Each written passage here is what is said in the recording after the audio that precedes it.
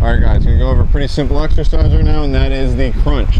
Very pretty standard ab exercise. So what we're gonna do here is lie down, make sure our lower back is touching the ground.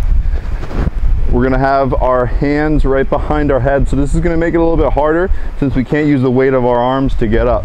So hands behind the head and all we wanna do is lift those shoulder blades off the ground. So just like that. That's all we have to come up to. Making it a little bit easier would be here. This will make it a little bit easier. And with your legs out is actually the easiest.